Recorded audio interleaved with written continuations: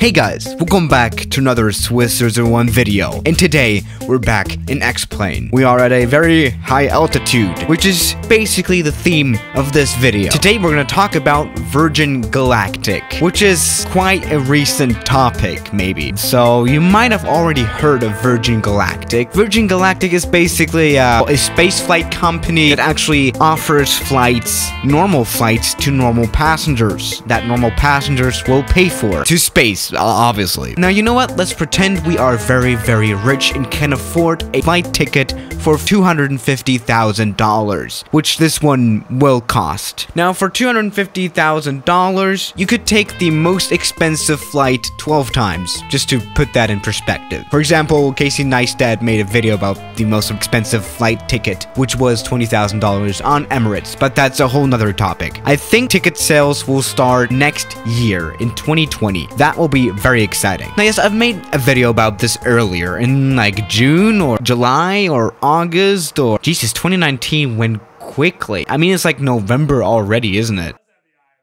Are you sure about that? It's December, isn't it? And that $250,000 that you will be spending allow you to have a 90 minute flight in actual space beyond the stratosphere whatever. Now this is the aircraft slash spacecraft that you'll be entering. As you can see we have three fuselages and actually this is two planes. So you know to kind of explain this easily we're gonna take off with this configuration and then when it's safe to fly with this middle smaller plane that has a rocket engine which allows it to fly in space, we'll drop it.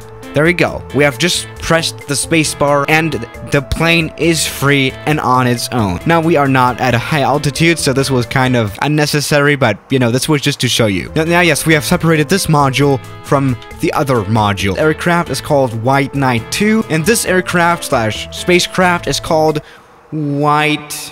No. Oh yes, it's Spaceship 2. What a creative name, right? So you know what? Let's just go ahead and fly and see what happens, right? Now back then when I first made a video about this plane, the concept wasn't really a thing yet and wasn't really realistic, but now it actually seems like things are going to fly next year, which is very exciting. Now, we are actually at the airport right now where you would be taking off this plane. We are at Spaceport America, which is in the Mojave Desert in uh, California. It's kind of weird since the brand version is from England. All right, let's just take off casually. This thing has four engines. Those are quite powerful engines, actually. I mean, they are supposed to carry a whole nother aircraft, so that kind of makes sense. And this has an enormously long wingspan as well. It's very interesting, to say the least. Uh...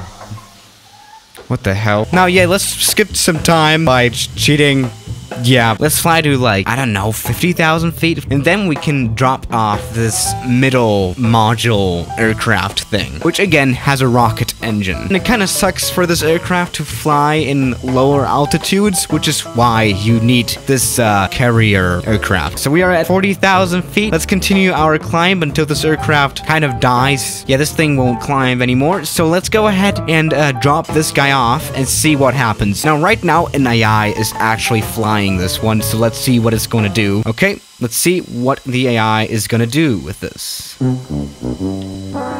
Uh... Now, you know what? Let's get into the position of the spaceship, too. So, we're gonna be carried up to, you know, 50,000 feet and then fly. Right now, we are being carried by the White Knight 2, which is actually being controlled by an AI. Oh my goodness. So yeah, you can uh, can see this thing has a rocket engine, and this is not a non-powerful rocket engine. So we have taken off. At least the AI has taken us off.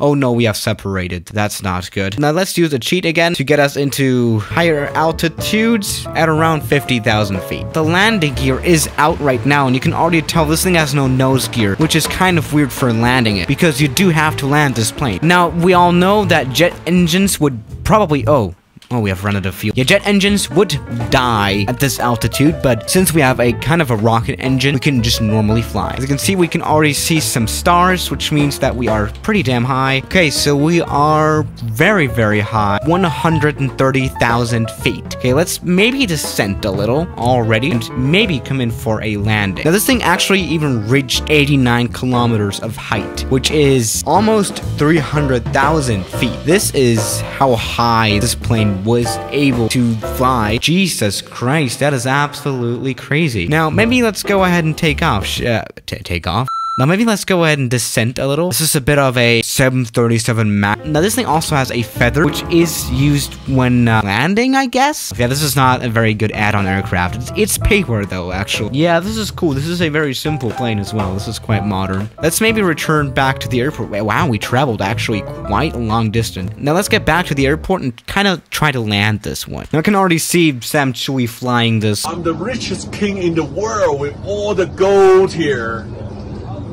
Yep. So where is the airport? It should be somewhere here, actually. Now let's uh, descend a little more. We have a G counter here. Let's push some G's and see how structurally reliable this one is. Oh, 5G, that does not seem comfortable. Oh, we just forced 7 G's. Now let's just go ahead and land, shall we? And let's uh, get those feathers going. Oh, Jesus Christ. What is that? I think there's a little bug here, isn't there?